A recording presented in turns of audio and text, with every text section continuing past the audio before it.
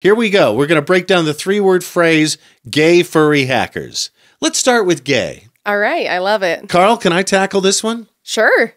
Yeah, you, you can take the softball. You got it. Gay is a diamond studded rainbow. Gay is when a man and a man, what's the gayest thing I can think of? Love each other very much. Love each other so much that they go shopping for furniture covers together. A gay would never put a furniture cover on their couch. They would just buy a really nice couch. yeah, that's probably. How dare you? Yeah. And they'd get a hypoallergenic dog to go on it. Yes, exactly. Yeah. That's that is super gay.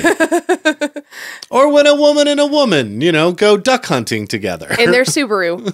yeah. With their Great Dane. There must have been a convention once in Jackson Hole.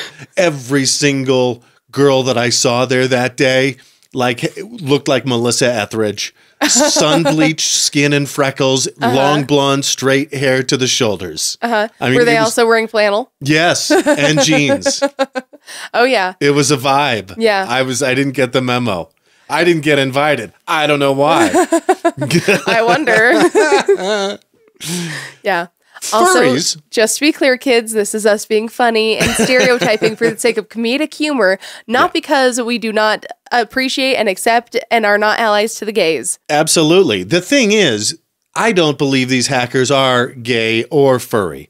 Some of them might be one or the other or Right. both, but Yeah. I don't think they all are. They're trying to think of the scariest thing uh, for a red state dweller. Right. You know, Well, and honestly, if I told my grandma this story, I think it would freak her out a little. they ought to be gay, trans. They should th- they should throw trans in there. That's a big. oh, there we go. you know, some people will get. A, I'm just trying to think of words these days that are so hot that Ooh, yeah. people get offended just by you saying them. Mm-hmm.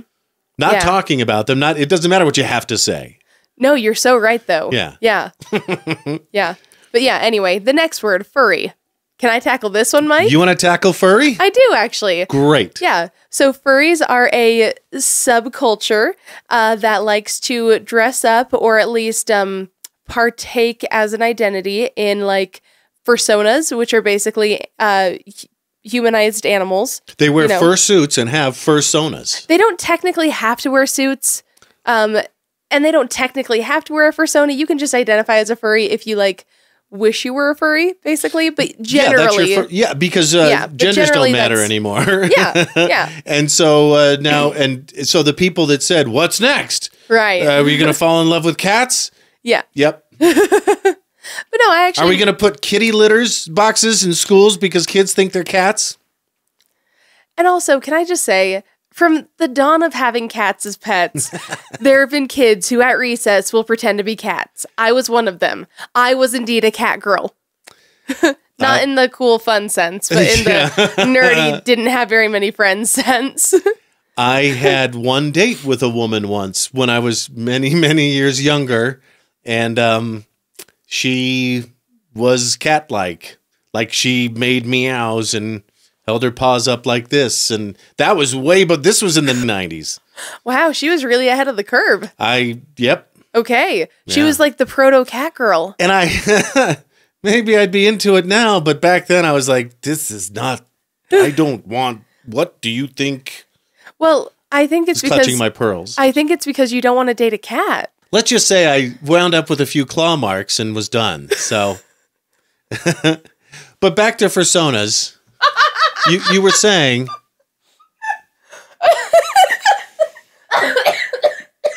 Don't you're gonna upset your. Do you want to make you more throat coat? worth it. that was the funniest thing I think you've ever said the entire time I've known you. It We're was, it was wild, man. I, I've had. literally wild. Although Yeah. I guess cats are domesticated. She wasn't. She was an Egyptian Mau. Oh my gosh, I cannot wait to talk about this in depth later. anyway, um, Well, I was hoping we could just skip past it, but but I've actually known a few furries. And they're all they've always been great people. I've always really liked them. Uh, the one that I knew did actually have a fursuit. And a lot of them okay, it takes a lot of craftsmanship to make a fursuit. First off, I don't know if you've ever bought faux fur. It is expensive as hell. really, It is so pricey. It's like 20 bucks a yard, if not more. Well, like the cheap stuff is 20 bucks a yard. The good stuff, like the really good faux, faux fur, you're looking at like up to 40 or 50 bucks a yard. So, like any cosplay hobby, uh, the Mm-hmm. more money you have, the more you can rock it. Yeah, basically. But man, and on top of that too, you have to be pretty crafty in general cuz like you're basically building a three-dimensional Disney character. You can't get this from Fursuits R Us or I mean, you, you actually can buy custom fursuits online. Asking for a friend. Yeah, for your cat girl. no. I'm sure she'd love it. Oh, Merry Christmas to Mike's cat girl. That was three lifetimes ago. Yeah, that's well, if she's a cat, definitely. yeah, she's, She's- long gone. Yeah. Yeah, we're on Fluffy 3. Zing! Oh my god. Oh my god, babe. I don't even remember where we were. Uh, but yeah, the craftsmanship in a fursuit Oh, right. is amazing. Mm-hmm. Uh, honestly, I would be interested in making one just to see if I could. Like, if I had infinite money and infinite time, I would make one just for fun. Yeah. Uh, but yeah, I mean, a lot of people. Could you make me Sully from uh is that his name? From Monsters Inc? Oh, probably Wait, what's his name? Sully. Oh, yeah, Sully. I could make you Sully. I'll be the Mike to your Sully. Yeah. Although, Yeah. wouldn't it be more appropriate for you to be Mike? That's true. We'd always have something in front of me. Yeah. You know, like a yeah, there you like go. that. Yeah. you know, though, the original furry, the Disney Robin Hood. Oh With the yeah, fox? the fox. I'm just saying, the reason that furries exist now is that movie. Woota la la golly golly golly what a day or I'm just whatever. saying, when I was a little girl, I thought he was cute. Really? Oh, come oh, on. you know what? I come He to was think so of it, cute. Maid Marian was a hottie too. Right. Yeah. I mean, I feel weird and dirty saying it because it's like he's a fox. But like he's an animated fox. He's an anthropomorphized fox, so it's fine. This is this is exactly like the Wayne's World conversation. Do you ever think Bugs Bunny is cute when he dresses up as a girl's bunny? And also, one thing I want to clear up, furries are not inherently sexual. Okay, and that was my next question: was is it a sex thing? So, my very first introduction to furries was when I was in like probably sixth grade, something like that. I had stayed home, I had stayed home sick for the day, and I was watching CSI. And they did an episode where a furry got murdered during a furry con party thing, Oh no, and they were like going a down furter. A furter. it's a furter. yeah, Furter, she wrote. but yeah, and they were talking about like yiffing and fursuits and like their personas and stuff. And they were doing it like it was so diabolical, like this disgusting sex stuff. First off, most of them are really just like normal people who are just playing pretend and dressing up and who are like they're they're doing it so innocently. Yeah, Like there's no sexual component to it all, at all. they just really identify with this animal and like to emulate it. And there are some.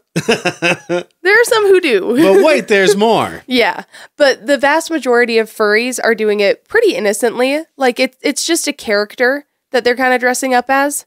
So it's cosplay. Yeah, it's just cosplay of an original character that they made up. All right. That being said, sometimes there are not appropriate places to wear your fursuits or your tails and ears, and maybe you should try to pick up on the social cues by looking around and seeing how many other people are wearing those things. And if no one else is wearing those, maybe you should question whether or not it's appropriate for you to be wearing those. But isn't it, and I'm just asking, isn't it kind of half the fun to buck society's conventions and stand out in a crowd? Sure, yeah. You're right. It is half the fun. And you have to accept that some people are going to cringe at it. The some only- people will just yuck your yum and there's nothing you can do about it, kid. Right. What was that con that we had here in Idaho Falls? Oh, Retro Expo. Retro Expo. I saw a bunch of furries. Yeah. And then hackers are hackers. There, we broke it down for you Mm-hmm. because the local news won't. You're welcome. Doing the Lord's work over here. Talking about gay furry hackers. Giving everyone a crash course in furries. From someone who is not a furry, by the way. I know I I think I know a decent amount, but also if you are a furry, please correct me. I'm always I'm always interested to learn. And if you're still anti gay furry hackers, hackers who want the world full of cat girls, I completely feel you on that because I've been there and it's not fun.